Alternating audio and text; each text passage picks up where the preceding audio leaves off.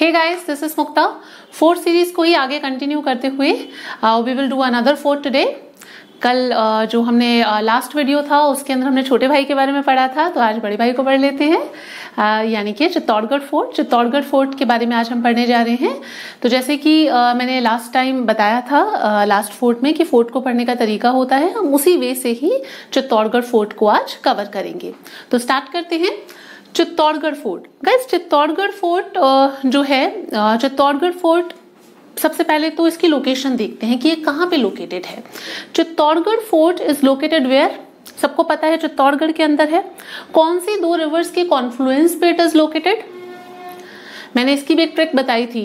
गौतम गंभीर बड़े ही बेरंग चित्र बनाता है। यानी कि गंभीर से हो गया गंभीरी और बे, बेरंग से हो गया बेड़च और चित्र से हो गया चित्तौड़गढ़। तो हमने ध्यान किया था कि जो चित्तौड़गढ़ फोर्ट है which is situated at the confluence of Gambhiri and Berach river इन दो रिवर्स के कॉन्फ्लुएंस पे लोकेटेड है ये।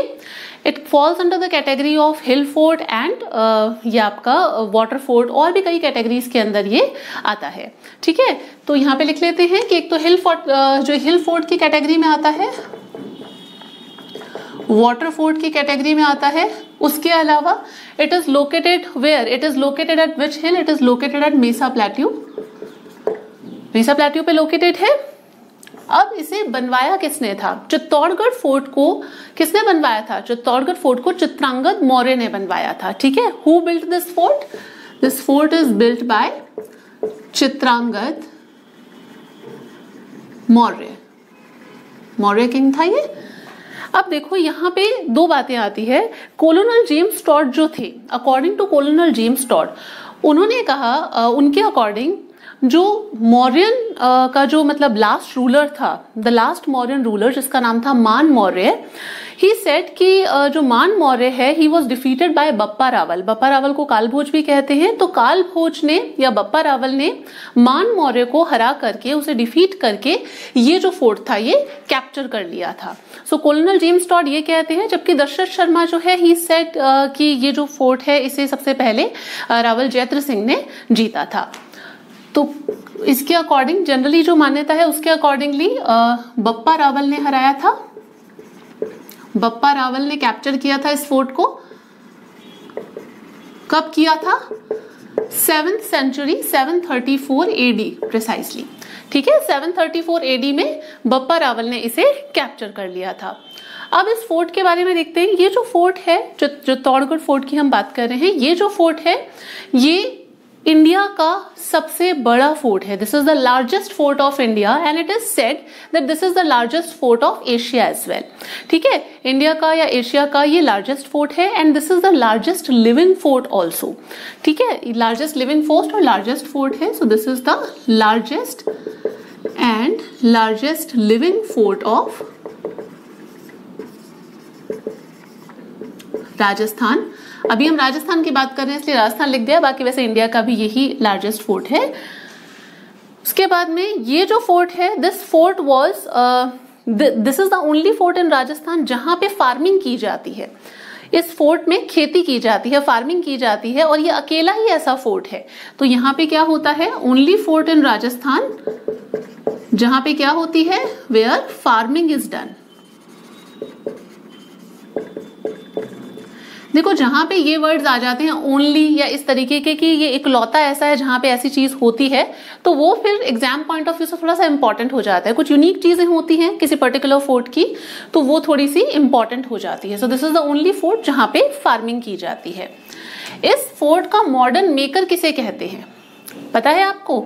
इस फोर्ट का मॉडर्न मेकर बोला जाता है किसे? महाराणा कुंभा को किसे बोला जाता है? महाराणा कुंभा को इस फोर्ट का मॉडर्न मेकर कहा जाता है। Why Maharana Kumbha is said modern maker of this fort क्योंकि देखो, एक तो इस फोर्ट के अंदर जो एंट्रेंस पे स्पाइरलिंग वे है, एक जैसे सांप की आकृति होती है ना, सर्पिलाकार तो उस तरीके का स्पाइरलिंग वे बनवाया था महाराणा कुंभा ने। और उसके अलावा महाराणा कुंभा ने इस फोर्ट के अंदर बहुत सारे टेंपल और काफ़ी कुछ काम करवाया था। तो इसलिए इस फोर्ट का मॉडर्न मेकर बोला जाता है, महाराणा कुंभा को। डन है यहाँ तक। अब इस फोर्ट के बहुत सारे निक नेम्स हैं। इस फोर्ट के क्या हैं? बहुत सारे निक नेम्स यानी कि उपनाम। क्या क्या निक नेम्स हैं इस फोर्ट के? पता होगा कुछ तो आपको। इस फोर्ट को चित्रकूट फोर्ट भी बोलते हैं। So this fort is known as Chitrakoot fort इस फोर्ट को प्राइड ऑफ़ राजस्थान भी बोला जाता है। राजस्थान का प्राइड भी बोला जाता है। So this is known as pride of Rajasthan इसके अलावा इस फोर्ट को पिलग्रिमेज ऑफ़ सेक्रीफाइस भी बोला जाता है। पिलग्रिमेज ऑफ़ सेक्रीफाइस सेक्रीफाइस क्यों? यहाँ पे बहुत सारे साके हुए थे। इस वजह से इसको मैक्सिमम साका वाला फोर्ट भी बोला जाता है। बात तो वैसे एक ही है ये बट मैक्सिमम साका वाला फोर्ट भी बोला जाता है। फोर्ट? कितने साके हुए थे? तीन साके हुए थे यहाँ पे? तो मैक्सिमम साका वाला fort, pilgrimage of sacrifice, pride of Rajasthan, Chitrakoot, ये सब इसके नाम है। उसके अलावा इस फोर्ट को सिरमौर ऑफ़ राजस्थान भी बोला जाता है तो ऐसे काफ़ी सारे नाम मिलते हैं। So these are the main important names of this इस फोर्ट के। एक और चीज़ है, इस फोर्ट को साउथ ईस्टर्न राजस्थान का एंट्रेंस गेटवे भी कहा जाता है। कैसे? देखो यहाँ पे, चित्तौड़गढ़ यहाँ पे पड़ता है। चित्तौड़गढ़ की लोकेशन कहाँ पे है? राजस्थान के मैप में। It falls in south eastern location तो साउथ ईस्ट राजस्थान का एंट्रेंस गेट भी इसे बोला जाता है। So this is known as south east entrance gate of Rajasthan. और मालवा प्लेट्यू कहाँ पे पड़ता है? मध्य प्रदेश में। तो मध्य प्रदेश में मालवा प्लेट्यू है तो इसे मालवा का एंट्रेंस गेट भी बोला जाता है, क्योंकि मध्य प्रदेश ही तो है, ये इधर वाला पूरा ये वाला रीजन जो इसमें दिखा रखा है है ना? तो इसे क्या बोला जाता है? साउथ ईस्ट एस ई लिख रही हूँ, समझ जाना साउथ ईस्ट है। South east entrance gate of Rajasthan, या फिर इसे बोला जाता है entrance gate of Malwa. Gate of Malwa done है यहाँ तक? तो हमने एक बेसिक सा जनरल इंट्रोडक्शन देख लिया है। कि ये फोर्ट जो है falls in hill location mesa plateau के पास में लोकेटेड है, चित्रांगद मौर्य ने बनवाया था, बप्पा रावल ने कैप्चर कर लिया था मॉडर्न मेकर महाराणा कुंभा है इस फोर्ट के, और उसके अलावा हमने देखा कि लार्जेस्ट लिविंग फोर्ट है, यहाँ पे फ़ार्मिंग की जाती है। बहुत सारे निकनेम्स देखे इस फोर्ट के, कि इसे चित्रकूट फोर्ट बोला जाता है प्राइड ऑफ़ राजस्थान बोला जाता है पिलग्रिमेज ऑफ़ सेक्रीफाइस मैक्सिमम साका वाला fort south eastern entrance gate of Rajasthan and entrance gate of Malwa बोला जाता है। यहाँ तक डन है? रब कर दू इसे? अब चलेंगे हम इस फोर्ट के अंदर। अब इस फोर्ट के अंदर की बात करते हैं।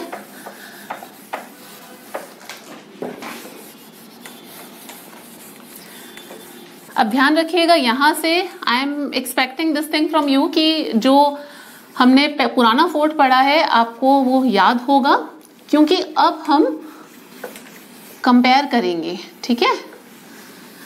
अब हम जो भी चीज़ें पढ़ेंगे, आगे जैसे जैसे हम लोग फोर्ट करते जाएँगे तो हम पीछे से उसको कहीं ना कहीं कनेक्ट करते जाएँगे कनेक्ट करते जाएँगे। ठीक है क्योंकि कनेक्ट करने से चीज़ें जल्दी याद होती हैं। तो ये फोर्ट है, सबसे पहले तो इस फोर्ट की जो शेप है, वो कैसी है? वेल फ़िश के जैसी शेप है। वेल मछली होती है ना वेल फ़िश उसके जैसी इस फोर्ट की शेप है। अब वेल फ़िश की शेप मुझे बनानी नहीं आती, इसलिए मैंने ऐसे बना दिया because I don't have that artistic hand तो इसलिए मैंने उसको ऐसे ही बना दिया है, ठीक है? बट आप समझ आना कि वेल फ़िश की इसकी शेप है इस फोर्ट की।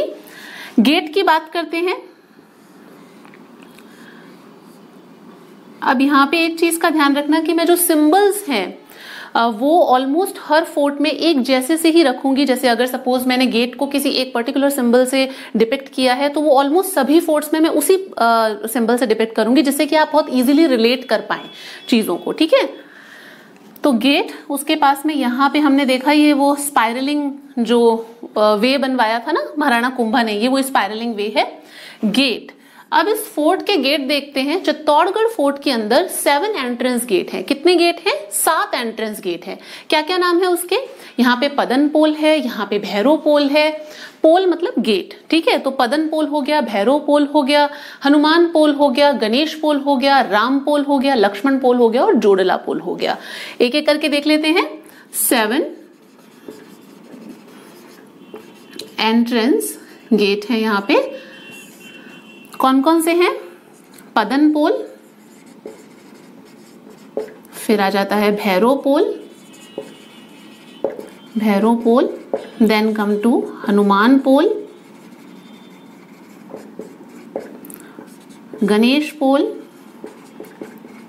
फिर आ जाता है आपका राम पोल, लक्ष्मण पोल एंड जोड़ला पोल। ठीक है? लक्ष्मण पोल और जोड़ला पोल। अब जो पदन पोल है, यहाँ पे आपको ये मेन फ़र्स्ट गेट है सेवन एंट्रेंस गेट है, ये पहला गेट है पदन पोल पदन पोल जो है, यहाँ पे आपको मेमोरियल मिलेगा किसका? बाघ सिंह का। अब ये बाघ सिंह कौन है? इनके बारे में हम पढ़ेंगे चित्तौड़गढ़ का जब सेकंड साका है, वहाँ पे ज़िक्र आएगा इनका, तब उसके बारे में हम इनके बारे में थोड़ा देख लेंगे। भैरव पोल भैरव पोल जो है इस पोल का जो नाम है वो भैरव पोल क्यों पड़ा? क्योंकि जो कल्लाजी राठौड़ हैं जो फोक डाइटी हैं लोक देवता हैं राजस्थान के कल्लाजी राठौड़ जानते होंगे आप लोग इस ना, नाम को आपने काफ़ी बार सुना होगा। तो कल्लाजी राठौड़ जो हैं उनके जो गुरु हैं उनके जो टीचर हैं वो हुआ करते थे योगी भैरवनाथ तो उनके नाम पे इस पोल का नाम पड़ा है भैरव पोल और यहीं पर कल्लाजी राठौड़ की सिनोटैफ या छतरी है। तो क्या है यहाँ पे? सिनोटैफ है किसकी? कल्लाजी राठौड़ की। राठौड़ की। अगर क्लियर नहीं हो तो मैं बोल रही हूँ, उससे आप थोड़ा सा रिलेट करके लिख लेना। और ये भैरव पोल और हनुमान पोल के पोल के बीच में यहाँ पे आपको जो मेमोरियल या सिनोटैफ छतरी जो है, वो मिलती है किसकी? जयमल मेड़तिया की। जयमल मेड़तिया की। और रामपोल पे आपको मेमोरियल मिलता है, फत्ता या पत्ता सिसोदिया का। अब ये जयमल मेड़तिया और पत्ता सिसोदिया कौन है? इसके बारे इन, इनका ज़िक्र आएगा चित्तौड़गढ़ फोर्ट के थर्ड साके में और वहीं पे हम इनके बारे में जानेंगे कि ये कौन है। ठीक है यहाँ पे अभी आगे पढ़ने ही वाले हैं उसके बारे में। तो ये सब चीज़ें हैं।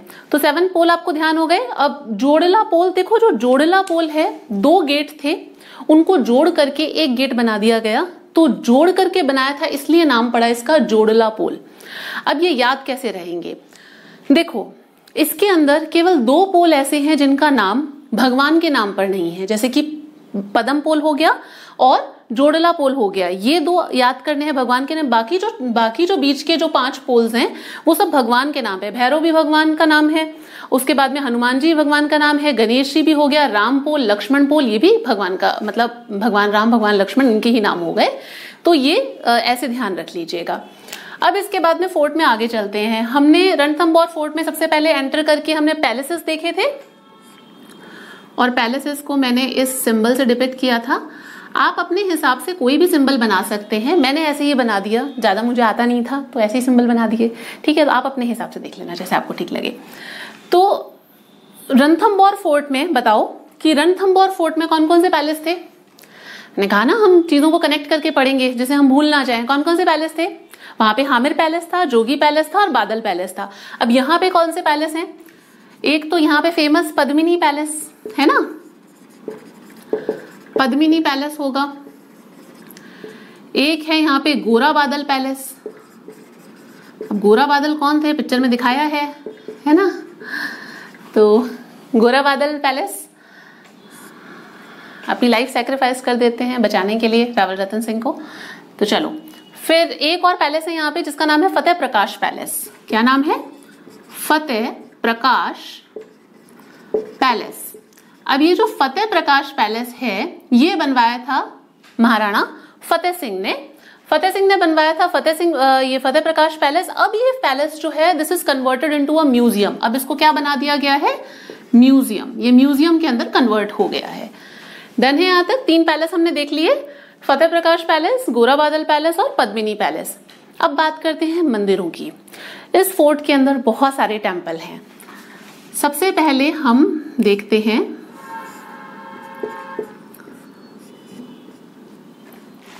महाराणा कुंभा।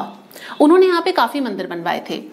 जो मेन मेन टेम्पल्स हैं जो हमें देखने हैं, वो हम देख लेते हैं। चार एक बार टेम्पल्स देख लेते हैं। महाराणा कुंभा ने बनवाए थे जो कुंभा। बिल्ट बाय ऊपर नीचे हो गया, थोड़ा सा देख लेना। It was built by Kumbha तो महाराणा कुंभा ने जो पैलेसेस बनवाए थे, उसके अंदर नाम मिलते हैं मीरा पैलेस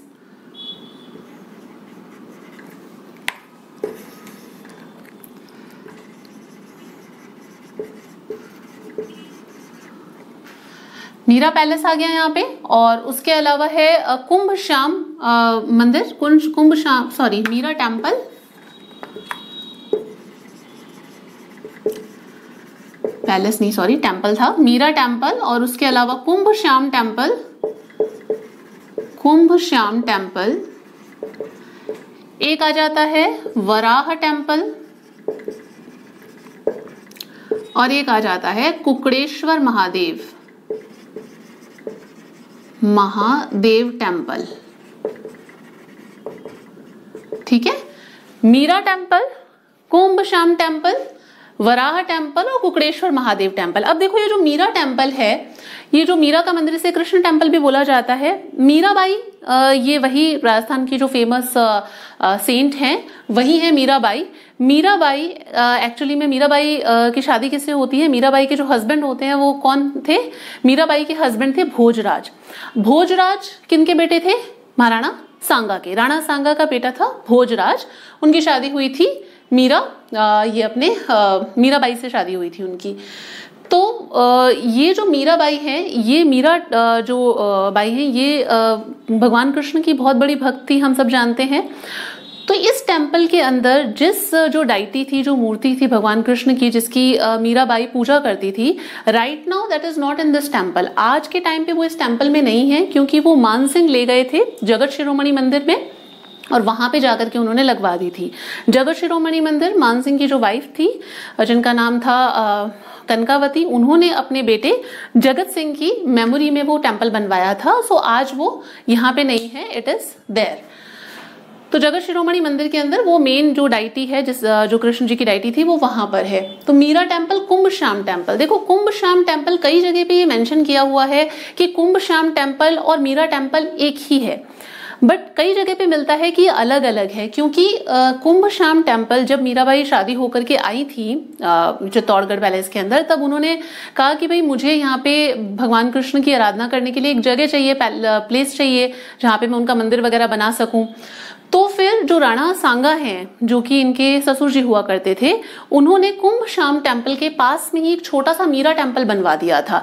सो एक्चुअली में देखा जाए तो ये जो टेंपल था, मीरा का जो टेंपल था, छोटा सा टेंपल वहाँ पे, उनकी पूजा करने के लिए वो राणा सांगा ने बनवाया था।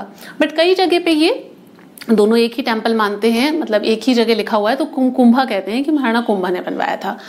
वराह टेंपल हो गया, कुकड़ेश्वर महादेव टेंपल हो गया तो चार कौन से मेन टेंपल हो गए? वो हो गया। एक आपका मीरा टेंपल कृष्ण टेंपल भी बोलते हैं, और यहाँ पे कुंभ श्याम टेंपल और वराह टेंपल और कुकड़ेश्वर महादेव टेंपल उसके बाद में आगे चलते हैं। एक यहाँ पे टेंपल मिलता है। इसका नाम है Kalika Mata temple this is a sun temple ठीक है? ये क्या है? ये एक सन टेंपल है। Kalika Mata temple this is a sun temple ये और यहाँ पे टेंपल मिलता है। उसके अलावा एक यहाँ पे मंदिर मिलता है, जिसका नाम है, एक जैन टेंपल है यहाँ पे, जिसका नाम है सतबीश देवरी। क्या नाम है? सतबीश देवरी। अब कई लोग इससे रिलेट कर पा रहे होंगे, है ना? जैन टेंपल, सुना है कहीं पर इसका नाम? अरे भाई, ये आर एस टू के अंदर क्वेश्चन आया था। चित्तौड़गढ़ फोर्ट के चार टेम्पल्स के नाम लिखे हुए थे वहाँ पे। और उसके अंदर से पूछा गया था कि इनमें से कौन सा जैन टेंपल है।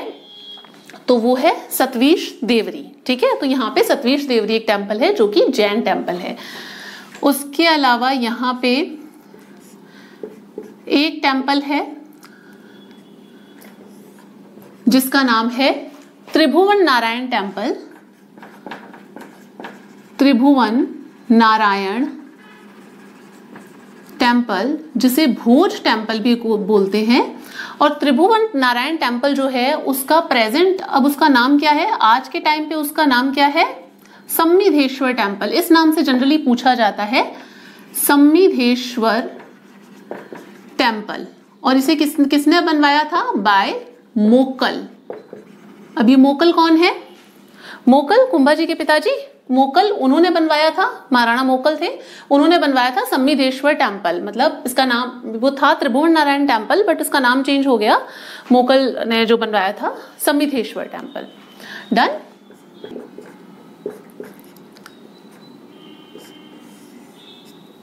टेंपल है, जिसका नाम है तुलजा भवानी। क्या नाम है? तुलजा भवानी टेंपल भवानी टेंपल और एक है ये नवलखा बुर्ज, या नवकोटा भंडार भी बोलते हैं इसे। ये दोनों किसने बनवाए थे? तुलजा भवानी मंदिर और नवलखा बुर्ज या नवलोखा नवलखा भंडार बोलते हैं। ये दोनों बनवाए थे, बनवीर ने। अभी बनवीर क्या बला है? बनवीर देखो कौन था? बनवीर जिन्होंने हिस्ट्री पढ़ी है उन्हें तो खैर पता ही होगा कि बनवीर कौन था। बनवीर एक्चुअली में रायमल जो सॉरी ये रायमल जो थे महाराणा जो कुंभा के बाद में सक्सेसर होते हैं तो रायमल जो थे उनके आ, चार बेटे थे एक था उसमें से दो बेटे थे, एक था पृथ्वीराज सिसोदिया जिन्हें फ्लाइंग प्रिंस यानी कि उड़ना राजकुमार भी बोला जाता है बिकॉज़ ऑफ़ इस फास्ट स्पीड तेज गति के धावक भी बोला जाता है उनको। तो उड़ना राजकुमार पृथ्वीराज सिसोदिया और एक थे महाराणा सांगा। ठीक है? ये इनके चार बेटों में से दो बेटे थे। तो पृथ्वीराज सिसोदिया जो है, पृथ्वीराज सिसोदिया जो कि बड़े बेटे थे उनकी अपनी दासी से एक बेटा होता है। उनकी दास उनकी जो दासी होती है, पृथ्वीराज सिसोदिया उनकी जो दासी होती है, उससे उनका एक पुत्र होता है, उनका एक बेटा होता है, जिसका जो, जिसका नाम होता है बनवीर। तो ये बनवीर जो होता है, ये क्या करता है कि आपको इनफैक्ट ध्यान भी होगा बनवीर का किस्सा तो। कि महाराणा जो अपने राणा सांगा है, उनके चार बेटे होते हैं, रतन सिंह, भोजराज, एक जो ये मीराबाई के पति जो खानवा के जो वॉर जो बैटल होती है, उसके अंदर मारे जाते हैं। और एक होता है विक्रमादित्य और एक होते हैं उदय सिंह। तो बनवीर जो होता है, वो विक्रमादित्य को मरवा देते हैं और उदय सिंह को भी मरवाना चाहते हैं बट यहाँ पे फिर किस्सा आ जाता है पन्ना धाय वाला। पन्ना धाय का तो बड़ा फ़ेमस किस्सा है, सबने पढ़ा हुआ है कि उन्होंने अपने बेटे चंदन को सेक्रीफाइस कर दिया था उदय सिंह को बचाने के लिए। तो वही सारी स्टोरी है बनवीर की। खैर, बहुत ज़्यादा हिस्ट्री में नहीं जाते हैं यहाँ से बट ये एक थोड़ा सा बैकग्राउंड था जिन्होंने अभी हिस्ट्री नहीं पढ़ी है उन लोगों के लिए। जो कर चुके हैं, उनके लिए कोई दिक्कत नहीं है। ठीक है? तो ये हो गया तुलजा भवानी मंदिर और ये नवलोखा या नवकोटा भंडार जो है, ये बनवीर ने बनवाया था। उसके अलावा यहाँ पे क्या है और यहाँ पे एक भामा शाह की हवेली है।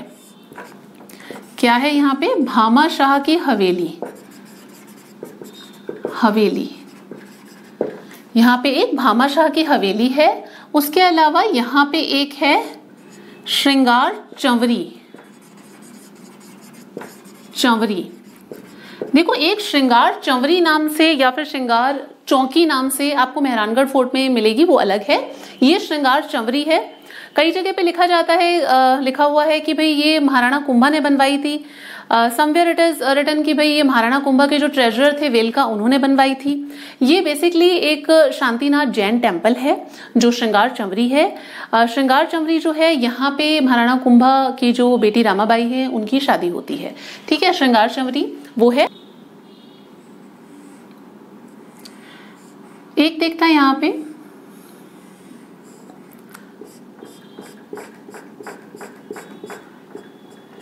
देखो, यहाँ पे एक जैन कीर्ति स्तंभ, जैन कीर्ति स्तंभ, और एक यहाँ पे कीर्ति स्तंभ, जिसे कि विजय स्तंभ भी कहते हैं, या फिर इसे टावर ऑफ़ फेम या फिर विक्ट्री टावर भी बोला जाता है। देखो, जैन कीर्ति स्तंभ और कीर्ति स्तंभ दोनों अलग अलग हैं। जैन कीर्ति स्तंभ ये वाला है, जो कि एक जैन मर्चेंट जीजा ने बनवाया था और इसकी हाइट कितनी थी? 22 मीटर्स और जो ये विजय स्तंभ है या फिर कीर्ति स्तंभ जो है, ये किसने बनवाया था? ये महाराणा कुंभा ने बनवाया था to commemorate his victory on Malwa अपनी जो जीत है मालवा के मालवा को इन्होंने जीत लिया था तो उस जीत की खुशी में, उसके उपलक्ष्य में इन्होंने ये विजय स्तंभ यहाँ पे बनवाया था। ये जो विजय स्तंभ है this is nine storey and one twenty two feet कई जगह पे आपको 120 फीट भी लिखा हुआ मिलता है तो 120 या 122 फीट इसकी हाइट है, और नाइन स्टोरी है ये। जो विजय स्तंभ है, उसके काफ़ी सारे देखो नाम भी हैं। विजय स्तंभ वैसे तो ये हिस्ट्री का टॉपिक है, हम लोग इसे डिटेल में हिस्ट्री में ही देखेंगे, अगर कभी करते हैं तो। बट यहाँ पे क्योंकि विजय स्तंभ के बारे में कई बार पूछा जाता है एग्ज़ाम में तो जस्ट थर्टी सेकेंड्स में मैं आपको थोड़ा सा इंपॉर्टेंट चीज़ें इसके बारे में बता देती हूँ। जो विजय स्तंभ है, इसके जो कुछ और भी नाम है, क्योंकि ये लॉर्ड विष्णु को डेडिकेटेड है तो इस वजह से इसे विष्णु ध्वज भी बोलते हैं, और इसके अलावा इसे गरुड़ ध्वज भी बोलते हैं। इसे म्यूज़ियम ऑफ़ आइडल्स भी बोलते हैं। उसके अलावा एनसाइक्लोपीडिया ऑफ़ जो आपका इंडियन स्कल्पचर है, वो भी विजय स्तंभ को ही कहा जाता है। When it was built it जब इसका जो मतलब ये जो है ये बनना कब शुरू हुआ था? 1440 के अंदर। इसका जो कंस्ट्रक्शन है वो स्टार्ट हुआ था 1440 में and it got completed in 1448 main important चीज़ जो इस फोर्ट के जो जो इस विजय स्तंभ के बारे में ध्यान रखनी है वो ये है इसका आर्किटेक्ट बहुत बार पूछा जाता है कि इसका आर्किटेक्ट कौन था? इसका मेन आर्किटेक्ट था जैता। और जैता के तीन बेटे नापा पूमा और पूंजा उन्होंने भी आ, इस मतलब विजय स्तंभ को बनवाने में जैता की हेल्प की थी। तो Jaita was the main architect of this एक और ध्यान रख लेना कोलोनल जेम्स टॉड ने विजय स्तंभ जो इसका कंपैरिजन किया है कुतुब मीनार से एंड दिस इज़ द ये पहली फ़र्स्ट बिल्डिंग थी जिसके नाम पे पोस्टल जो स्टैंप है, वो इशू हुई थी। This was the first building जिसके नाम की पोस्टल स्टैंप इशू हुई थी। कब इशू हुई थी? 1949 में। हमारे इंडिपेंडेंस के दो साल बाद। 1949 प्रिसाइजली 15 अगस्त 1949 को। तो विजय स्तंभ के बारे में वैसे तो और भी चीज़ें हैं कि कौन से फ्लोर पे कितनी बार अल्लाह लिखा हुआ है और बहुत सारी चीज़ें हैं, वो बाद में देखेंगे। मेन इंपॉर्टेंट चीज़ें ये थी तो मैंने बता दिया। और हाँ राजस्थान पुलिस जो है, उसके एम्बल में विजय स्तंभ ही बना हुआ है। So that's the emblem of Rajasthan police यहाँ तक बात हो गई तो हमने मेन चीज़ें इसकी देख ली हैं। अब यहाँ पे देख लेते हैं, यहाँ पे कुछ ना आपको इस फोर्ट के अंदर कुछ आपको पौंड भी मिलेंगे, कुंड भी मिलेंगे, बावड़ियाँ वगैरह भी मिलती हैं। तो जो मेन इंपॉर्टेंट पौंड कुंड या बावड़ी है, वो उसको मैं सारे को एक साथ ही बता रही हूँ, ठीक है? यहाँ पे मेन यहाँ के जो इंपॉर्टेंट वाटर रिसोर्सेज हैं, उसमें ध्यान रख लेना। एक है भीमलाट कुंड। भीमलाट कुंड। एक है रत्नेश्वर पौंड। एक है यहाँ पे कुंभ।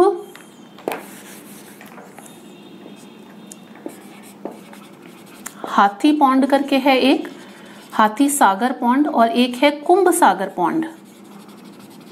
कुंभ सागर पौंड। और एक है यहाँ पे झाली बाव बावड़ी।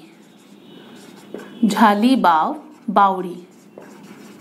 ठीक है, वो भी यहीं पर ही है, झाली बाव बावड़ी। दिस इज़ ऑल्सो हेयर बावड़ी को स्टेप वेल भी कहते हैं तो आप यहाँ पे स्टेप वेल भी लिख लो।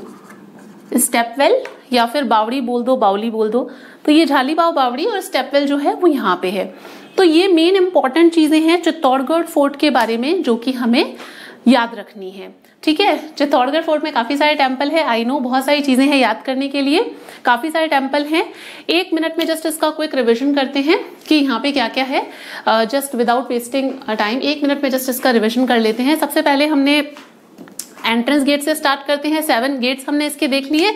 ठीक है, पदन पोल हो गया, भैरव पोल हो गया, हनुमान पोल, गणेश पोल, राम पोल और लक्ष्मण पोल। ठीक है, यहाँ भैरव पोल है, वहाँ पे हमने कल्ला जी जो राठौड़ है, उनकी सिनोटैफ देख ली। बाघ सिंह की कहाँ पे मिलती है? पदन पोल पे और हनुमान पोल और इसके बीच में जयमल मिर्तिया की और यहाँ पे राम पोल पे फतेह सिसोदिया की। पैलेस देखिए कौन कौन से? पद्मिनी पैलेस, गोरा बादल पैलेस और फतेह प्रकाश पैलेस जो कि कन्वर्ट हो गया है म्यूज़ियम के अंदर। आई होप आपने इसको लिख लिया होगा या कैप्चर कर लिया होगा। बिकॉज़ अब मैं रिविजन करवा रही हूँ तो ठीक है? कुंभा के जो टेंपल हैं, मीरा टेंपल वैसे तो सांगा ने बनवाया था, जो छोटा मेन टेंपल है, बाकी कुंभ, श्याम और उसको अगर एक ही कहो तो कुंभा जी ने बनवाया था। वराह टेंपल कुकड़ेश्वर महादेव टेंपल एक है Kalika Mata temple this is the sun temple एक सतवीश देवरी है, जो कि जैन टेंपल है इंपॉर्टेंट है। Tribhuvan Narayan temple present day Samiddheshwar temple Mokal ने बनवाया था। तुलजा भवानी टेंपल नवलखा बुर्ज या फिर नवलखा भंडार, बनवीर ने बनवाया था। भामा शाह की हवेली है, श्रृंगार चमरी है, जहाँ पे उनकी बेटी रामाबाई की शादी हुई थी मारणा कुंभा के। और जैन कीर्ति स्तंभ और जैन स्तंभ के बारे में हमने काफ़ी बातें देखी है। वाटर रिसोर्स में हमने देख लिया भीमलाट कुंड रत्नेश्वर कुंड, हाथी सागर पौंड या आपके कुंभ सागर पौंड और झालीबाव बावड़ी। So this is all about the Chittorgarh fort. अभी पूरा खत्म नहीं हुआ है। चित्तौड़गढ़ फोर्ट के अंदर साके बचे हैं। देखो जो चित्तौड़गढ़ फोर्ट के जो साके हैं, तीन, क्योंकि मैक्सिमम साका वाला फोर्ट है, तीन इंपॉर्टेंट साके हुए थे, उसे हम नेक्स्ट वीडियो में करेंगे। अदरवाइज़ वीडियो की लेंथ बहुत ज़्यादा बड़ी हो जाएगी। मैं बहुत अच्छे से उसे करवाना चाहती हूँ। तो चित्तौड़गढ़ फोर्ट का जो ये है चित्तौड़गढ़ फोर्ट हम लोग दो वीडियोज़ में कवर करेंगे। दिस इज़ पार्ट वन जिसमें हमने मेन चीज़ें देख ली है। बाकी पार्ट टू के अंदर जो मेन साके हैं वो हम देखेंगे। अब यहाँ पे एक बात आ, कई स्टूडेंट्स के जैसे कमेंट आए थे आ, मेरे पास में आ, जो मैंने एक वीडियो अपलोड किया था। अबाउट दैट नोटिफिकेशन जो कि आर uh, के रूल्स में जो चेंज हुआ है उसको लेकर के uh, काफ़ी स्टूडेंट्स के कमेंट्स uh, आए थे कि एस सी कैटेगरी पे एस टी पे या फिर जनरल कैटेगरी पे ओबीसी पे क्या इम्पैक्ट होगा उन पे क्या फ़र्क पड़ेगा। तो एक बार मैं दोबारा थोड़ा सा एक्सप्लेन कर देती हूँ। शायद आपको समझ में क्लियर क्लियरिटी नहीं हुई थी तो मैं एक बार थोड़ा सा उसे एक्सप्लेन कर देती हूँ। आई होप इसके बाद में आपको उसके बारे में क्लियरिटी की बहुत ज़्यादा ज़रूरत नहीं रहेगी। You will get a fair understanding of that देखो,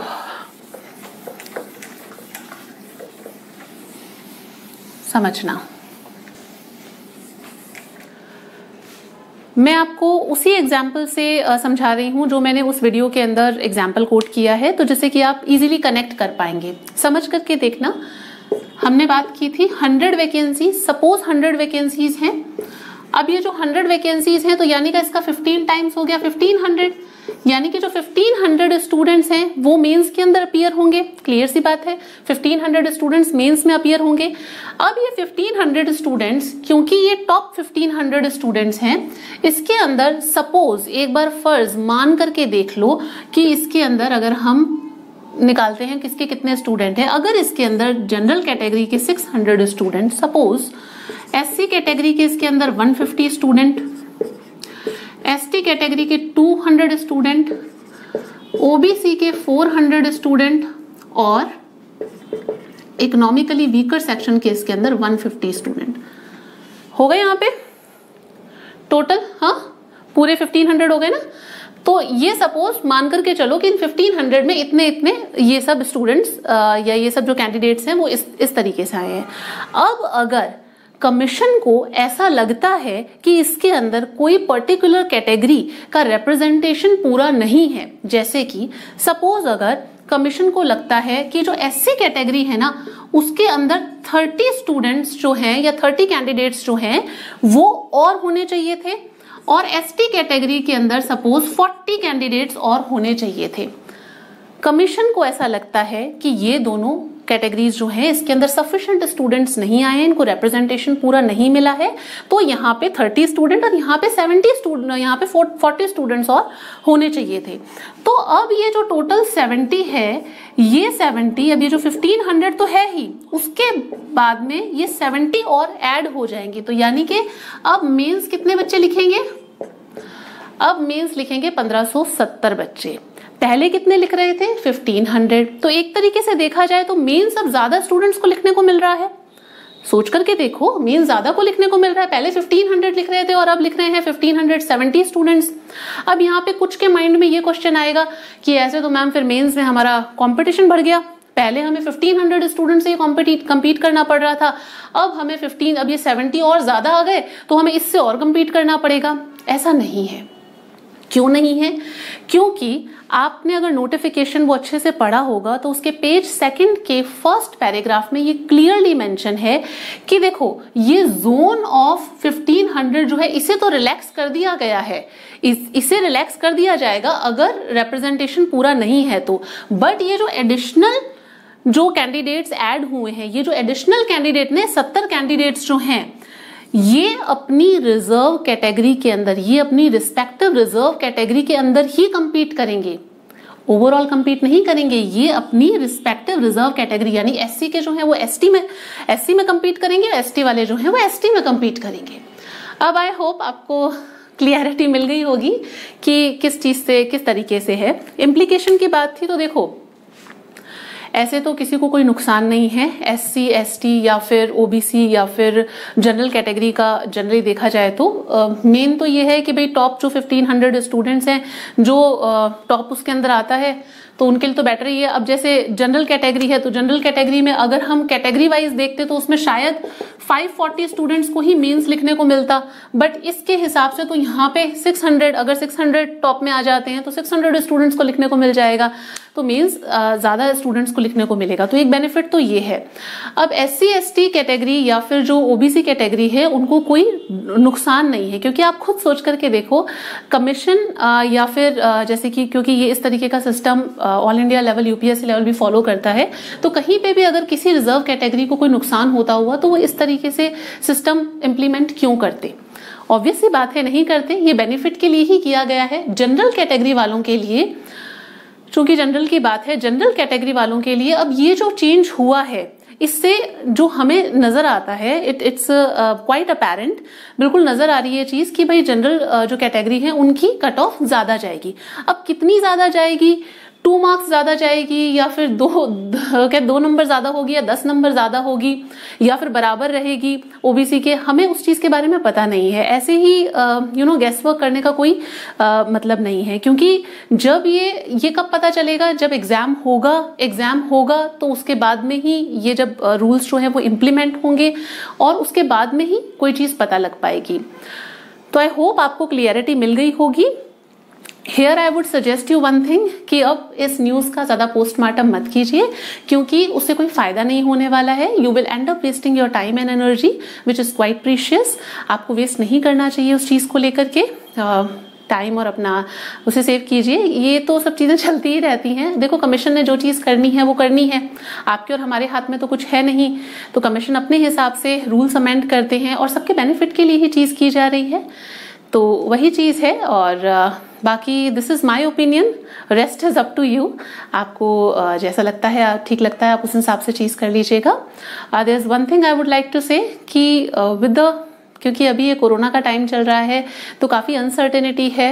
थोड़ा सा आ, मतलब स्टूडेंट्स के माइंड में कई बार ये क्वेश्चन होता है कि आर का भी नोटिफिकेशन नहीं आया है कब होगा पेपर होगा या नहीं होगा।